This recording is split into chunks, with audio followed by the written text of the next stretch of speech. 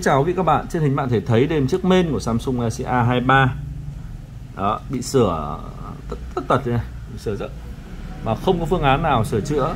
Thì hiện tại di động cao cấp.vn vẫn nhận thay mới main.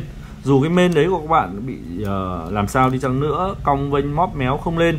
Nhưng các linh kiện khác trên máy như màn hình loa mic rung chuông vẫn sử dụng được.